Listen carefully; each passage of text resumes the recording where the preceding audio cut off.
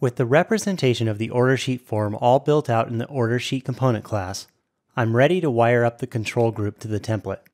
Now I'm going to make use of a built-in Angular directive named ngFormModel to do this. Since forms are such a common piece of building web apps, the Angular platform includes form-related directives out of the box for you, so you don't need to provide them to a Bootstrap call or to the component metadata. Switching over to the order sheet component HTML file, I can start wiring things up. The first thing I need to do is make use of the ngFormModel directive, which has a selector of ngFormModel in camel case. This directive will bind a control group to a DOM element. So I add the property binding ngFormModel in square brackets on the form element and set it equal to the name of the control group class property I created, order sheet form. Pretty straightforward. Now Angular knows that the order sheet form control group is going to be used on this form element and everything within it. And since I have a property on the order sheet component that has the control group, I don't need to create a template reference variable to the form to work with it. Now down at the bottom of the markup, I have this debug-panel custom element, which is a component in the project to help out displaying object data. The value of the control group is an object, and this debug panel has an input property named data.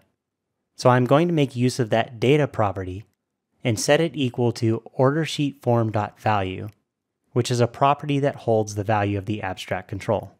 And if I check this thing out in the browser, I can see I have this show debug link here. And if I click on it, a debug panel shows, which has the representation of the form model I built up in code with the values set to the default values I declared in the component class. In the upcoming videos, I will go through wiring up each of the form fields to their respective controls in that order sheet form control group. I'll jump back over to the code and do two more things now. In the order sheet component HTML file, I need to wire up events for submit and for the resetting of the form. Down at the bottom of this markup, there are buttons for submit and reset. I created an onClearForm method in an earlier video on the order sheet component class, so I can wire up the click event using the parentheses around the term click as per Angular's template syntax for wiring up to native DOM events, and set that equal to a statement of a call to that onClearForm method. And remember, I had to add that temporary fix to support the reset by creating a component property named formActive with the intent of using that in an ngIf.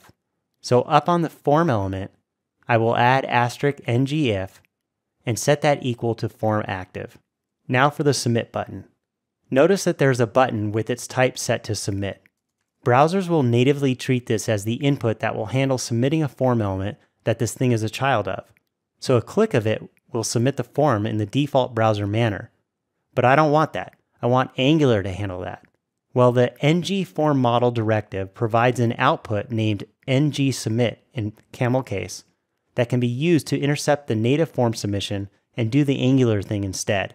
So up at the top of the file on the form element, I can add the template binding for the event ngSubmit in parentheses and set that equal to a method call of onSubmitForm. And back in the order sheet component TS file, I just need to add the onSubmit form method. And in the body of that method is where I would put the logic to submit this form off to some service. But for this course, I can just console log this.ordersheetform.value.